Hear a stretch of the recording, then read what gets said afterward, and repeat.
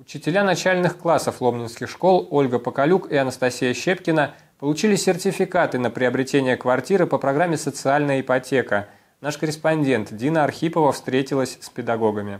Педагог с 13-летним стажем Ольга Поколюк переехала в Лобню из Приднестровья. Восемь лет жизни посвятила работе в Лобнинской школе номер два. При этом уже долгое время ей приходится ютиться с сыном в крохотной комнатке общежития. Мальчик давно мечтает о собственной комнате, чтобы приводить домой друзей, спокойно учить уроки, заниматься своими делами, не мешая маме. Совсем скоро его мечта сбудется. Ольга стала участницей государственной программы «Социальная ипотека». Это дает огромную поддержку поддержку и возможность работать на территории Московской области. Жилья достоин каждый учитель, также каждый человек. Эмоций было очень много положительных. Были слезы радости, счастья. Проект губернатора Московской области социальной ипотеки очень важен, так как очень многие учителя нуждаются в собственном жилье. Для каждого человека очень важна поддержка. В этом году сертификат на приобретение квартиры по социальной ипотеке получила еще одна жительница города. Анастасия Щепкина переехала в Лобню из Дмитрова 11 лет назад. Вместе с мужем и девятилетней дочкой они проживают у родственников супруга. Более семи лет она работает учителем начальных классов в школе номер 6 имени Вячеслава Сахнова. Когда я училась в школе, мне все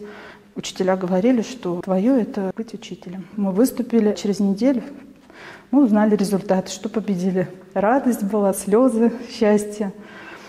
Буквально там через две недели мы получили сертификаты от губернатора Московской области. И вот в данный момент подыскиваем квартиру. Уже присмотрели квартиру в новостройке, недалеко от школы. Это большая помощь для учителя. Вот в данный момент, например, взять учителю ипотеку полную, это очень тяжело. Отбор участников программы «Социальная ипотека» проходит в два этапа. Сначала учителям необходимо направить перечень документов в Министерство образования Московской области и убедиться, что их возраст, квалификация, стаж и другие показатели соответствуют требованиям программы программы. Затем потребуется предоставить свое портфолио, сведения о достижениях и успехах учеников, об участии в конкурсах. На финальном этапе, оценивая всех кандидатов, специальная комиссия Министерства образования определяет тех, кто получит возможность воспользоваться социальной ипотекой. В Подмосковье программа действует с 2016 года и финансируется из регионального бюджета. Социальная ипотека реализуется в форме единовременной субсидии, составляющей 50% от стоимости жилья. Остальные 50% возвращаются в виде ежемесячных платежей в счет погашения суммы основного долга. При этом сам участник программы выплачивает только проценты по ипотечному кредиту. Дина Архипова, Алексей Орлов, Денис Рокин, телекомпания «Лобня».